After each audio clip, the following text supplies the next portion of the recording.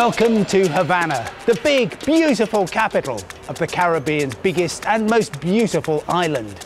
Over the next 48 hours, I want to explore the city with you, meeting the people, being dazzled by the colours and charms of the capital, and sharing with you my favourite places to eat, drink, and celebrate life within the indulgent embrace of the tropics.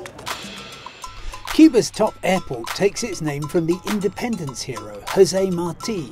Like Heathrow, there are five terminals. Most international flights arrive here at Terminal 3, and these days passport control and customs checks are normally friendly and efficient. Just remember to bring your travel insurance policy or you'll need to buy medical cover.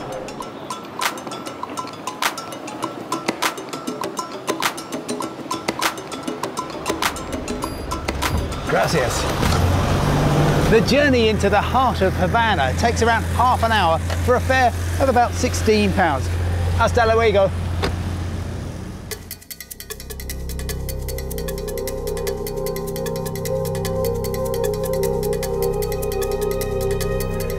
See the city laid out before you, come to the model of Havana, where you can see the original Spanish settlement from 1519 and how old Havana, Habana Vieja, has grown to become the most marvellous colonial city in the Americas and today a UNESCO World Heritage Site.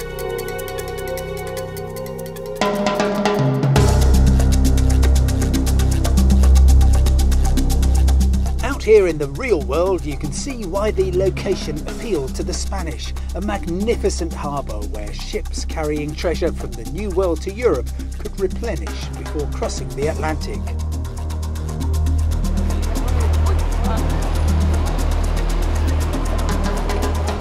In the 1940s and 50s, Havana began to expand westwards and upwards, here to Vedado.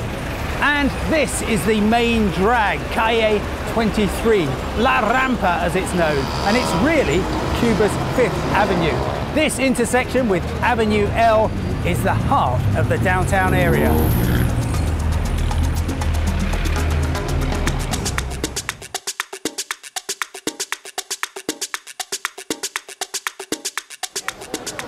Of the many places to stay in Old Havana, this is the most central. The Ambos Mundos, which means both worlds. It bridges the divide between the old world and the new. And one former guest loved it so much that he lived here for years. His name, Ernest Hemingway. The writer loved Cuba and created some of his best work in room 511 of this salmon pink hotel. Now, I'm not actually staying here, but luckily you don't have to be a guest to come up to the sixth floor bar, raise a glass to Ernest and drink in the view. That curious symbol looking like a capital H on its side means there's a room to rent for foreigners, and that is the secret for cut price lodgings. You'll also get to meet real Cubans. But this time I'm staying at the most celebrated property in the city. Buenos dias. Well, look where I am staying, the Hotel Nacional de Cuba, the greatest address in all of Havana. It opened in 1930 and has played a part in Cuba's turbulent history ever since. And it's now officially a national monument. Let me recommend room 613, where on one side you can witness the sunrise over the Atlantic. Out of the other window, have a look at the beautiful architecture a little bit closer up. There's an official hotel historian who conducts tours twice a day, but you might simply prefer to wander through the beautiful grounds and gaze out at the ocean.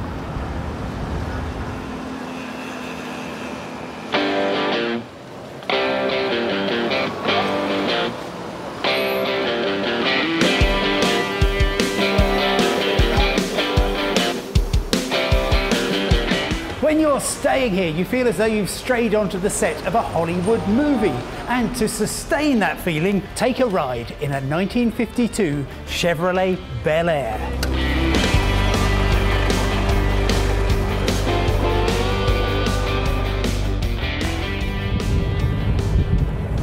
My excellent driver is Rojas and he is half the age of his car. The deal is this, for a ride of an hour around anywhere you want to go in the city, it costs the equivalent of 20 pounds. And you can pack the car out with your friends. And if you haven't got any, you can always invite a cameraman along. There really isn't a better way to travel and to appreciate the scale and beauty of the Caribbean's largest city. Other forms of transport are available from Chinese made buses to bicycle taxis. Wow, what a strange sensation. You don't just get to see the tourist attractions, you become one yourself. Anyway, I've asked Rojas to drop me at the Parque Central on the edge of Old Havana, which is handy if you're feeling hungry because it's the home of the greatest concentration of restaurants in Cuba. Muchas gracias, Rojas. Trente. Thank you very much, my man. Very good. Adios. When I first came to Havana 25 years ago, yes, I was very young, thanks, there was only a handful of restaurants to choose from. Now there's dozens, so you can pick one according to the architecture, the atmosphere, or in the case of the Mesón de la Flota, the Andalusian dancing. Flamenco is part of the menu at the Mesón de la Flota, Performers like these in restaurants depend on tips from customers, so be generous to ensure the tradition continues. The restaurant is a former mariner's hostel. I just ask the waiter what's good for the day and hope that he uh, advises me correctly. Mmm, very nice. I think it's perch. Gracias time to walk off my meal and I've got an appointment with a tourist guide, Liber, in the Plaza Vieja, about one minute's walk over there. He's going to join me on a stroll through Old Havana, a tale of three squares. So here we are, this is Plaza Vieja, uh, originally was a place where uh, the wealthiest uh, families uh, used to enjoy their fiestas and the executions sometimes. Today is pretty much a place where people come to relax, tourists come to enjoy uh, the re relaxing time, taking beer, coffees, etc. and also Cubans as well. Then we walk down Mercaderes or Market Street, full of shops, and where the pedestrians only rule is enforced by the use of old cannon. We are in the uh, Plaza de Armas, the Arms Square. Over there we have El Templete, which is the foundational site. Uh, the first mass and the, uh, foundation of the city was established uh, precisely there on November 16, 1519. Today is one of the loveliest squares uh, in the city. It's easy to be mesmerized by the energy, the color and the noise of Havana. So here we are in the third square, uh, that is uh, La Plaza de la Catedral. It took its name from the uh, Cathedral Church. Uh, originally, the place was known as the Swamp Square. Uh, later on, the uh, place became the site of some of the most beautiful mansions that belong to the wealthiest families of the area. If you don't mind me saying so, the cathedral looks a bit lopsided. That is true. In fact, one tower was built before the other one and uh, higher than the other one. There's been a couple of uh, theories about it, but this is one of the most important uh, distinctive features of this beautiful religious architecture. Well, thank you very much indeed, Liber. My pleasure. Okay, Anytime. I'm, I'm going to go and see if I can get a bit lopsided myself. Okay. Thank you. You're welcome.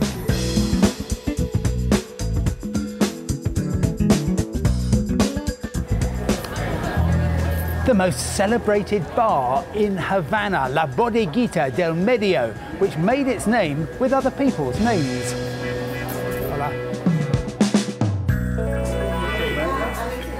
And if you can battle your way through the crowds to the bar, this is your reward. The mojito, which is rum, lime juice, sugar and mint. And just what you need after a day in hot Havana. Mm. Presidents, poets and playboys have all drunk here and left their mark by signing the walls. If this has sharpened your appetite, then you can eat here as well. Buen appetito. And look, it's him again, our old friend Ernest Hemingway, who's signed here my mojito in La Bodeguita. That was just the first half of Hemingway's signature sentence. The other part was my daiquiri in El Floridita. And guess what? Hemingway is still propping up the bar here. But despite the impression he created, you can do more than just drink here. Mind you, this is the place known as La Cuna del Daiquiri, the cradle of the daiquiri. So it would be rude not to try it. Rum, lime juice, and sugar with crushed ice. Just lovely. Why stop at one? He never did. Time to eat. Gracias. El Floridita has been serving up dinner for the last 200 years, and for about the last quarter of that, it's been run by the state. Hmm. Really quite well, but it's always good to have choice. Competition is thriving in the shape of paladares, privately run restaurants. Originally, they could offer only 12 chairs, but now they have expanded with Paladar Los Mercaderes particularly impressive. Paladar is just a private restaurant. Mostly restaurants in Cuba belong to the government. This one belongs to you know, private people. So it's Cuban food, very homely, made in home maybe to say. And the other thing is have reasonable prices. So, the end of another great Havana night. I'm not going to round it off with a cigar, but my friend is. Good morning.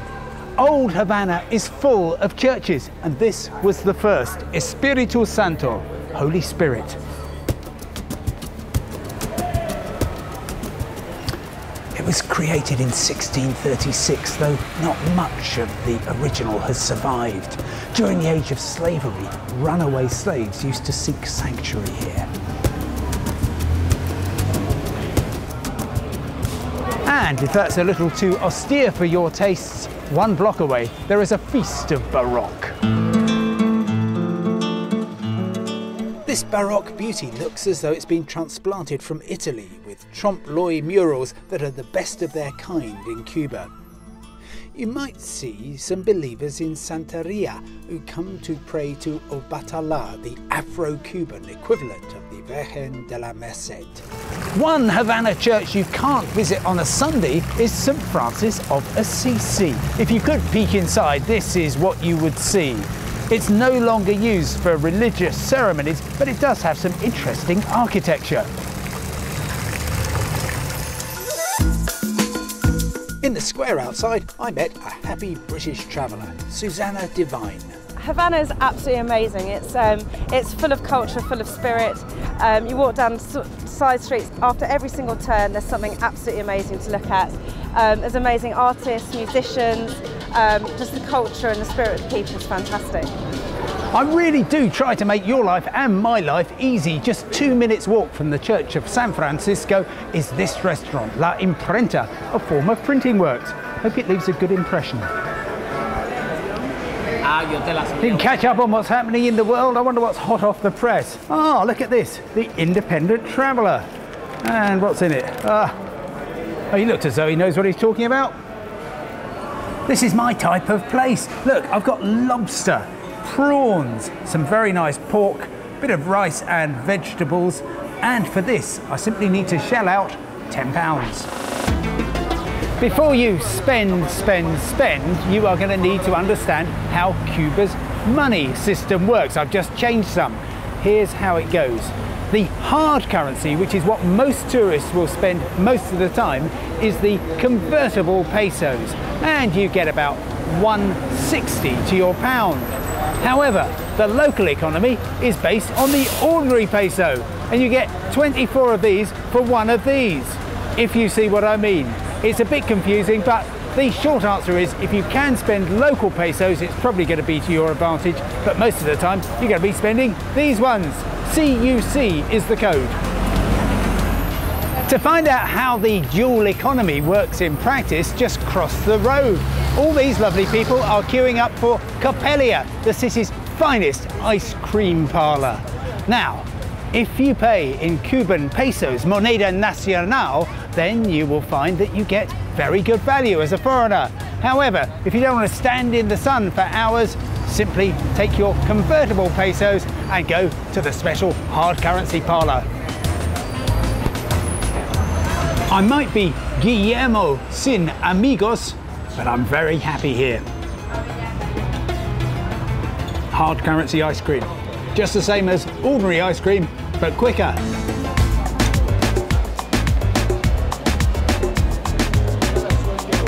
This is Old Havana's main shopping street, Calle Obispo. Using some of my local pesos, I'm going to buy some local bananas from this very nice man. Uh, ¿Cuánto cuesta? Ocho pesos, hermano. Ocho. Okay, that's about, hang on, uh, one third of a real Cuban peso. That's about 50 pence for all these very nice bananas. Muchas gracias. Mm. In the shadow of the Havana Libre Hotel here in Vedado, there's a daily street market where you can buy all manner of arts, crafts, and souvenirs aimed to distill the spirit of Cuba. Afterwards, it's well worth coming into the Habana Libre Hotel itself because apart from having 544 rooms, it's also something of a shopping mall where you can buy anything from a Havana cigar to an airline ticket. And you can find out about the role of the hotel in Cuba's revolutionary history. 19th of March 1958, the finest and flashiest hotel in all of Latin America opens as the Havana Hilton. Less than a year later, on the 1st of January 1959, Havana falls to the revolutionaries and Fidel Castro establishes his command center here. It's later renamed the Havana Libre. Free Havana! Cuba's unique culture infuses the streets of Old Havana and is evident here in this remarkable city block just on the edge of Havana Vieja. It's full of civilian and military hardware that tells the story of Cuba's revolutionary struggle in the 1950s. From the assault on the Moncada barracks in 1953 through to the cabin cruiser Granma, on which Fidel Castro, Che Guevara, and 80 other revolutionaries sought to land to overthrow the tyrant Batista. Unfortunately, only 13 of them survived. The revolution may have begun badly, but it rapidly gathered momentum. And by the end of 1958, the game was up for Batista. In the early hours of New Year's Day 1959, he fled the presidential palace. And one week later, Fidel Castro gave his first address in Havana from that very balcony. Today, the presidential palace is now the Museum of the Revolution, where you find all the history. You may find it confusing that a place of such finery now celebrates communism. I find it intriguing. It's as though the Cold War never ended, which, as far as Cuba and the US are concerned, it hasn't. The museum is fascinating and, of course, tells the story of Cuba in the last hundred years or so from the point of view of the winners. I guess it's aimed more at the children of the revolution than at foreign tourists. Even after the revolution, it was slightly more complicated than simply transforming Cuban society. In April 1961, there was an invasion at the Bay of Pigs to the south of Havana. This is the Soviet tank from which Commander-in-Chief Fidel Castro fired the first shot against the American ship Houston. They had a problem.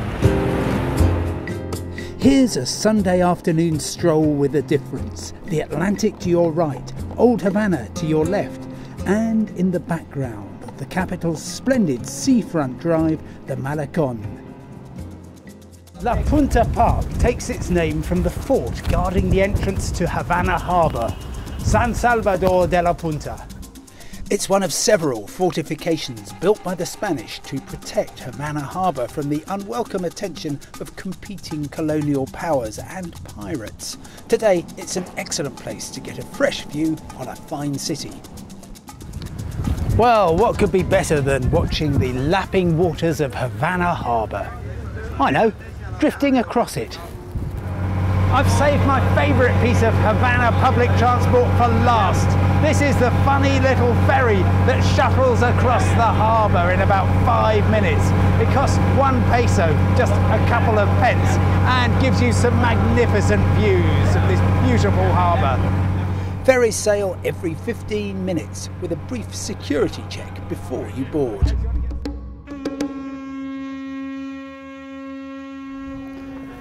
Havana was the key to the Spanish Main and had to be defended at all costs. No fewer than eight forts were built to protect the harbour, of which this one, San Carlos de la Cabaña, was the latest and greatest. And it's here because of the British. In 1762, the Royal Navy took control of Havana and occupied Cuba. The following year, the island was handed back to the Spanish in exchange for Florida. And to prevent any more maritime mischief, Spain constructed the mightiest fort in the Caribbean.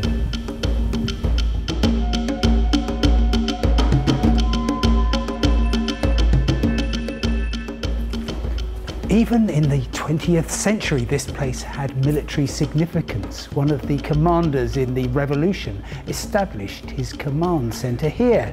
His name, Comandante Ernesto Che Guevara. Che began work on the rebuilding of post revolutionary Cuba here and later became the Minister for Banking and Industry but then he sought to spark insurrection in Bolivia and in 1968 was shot there.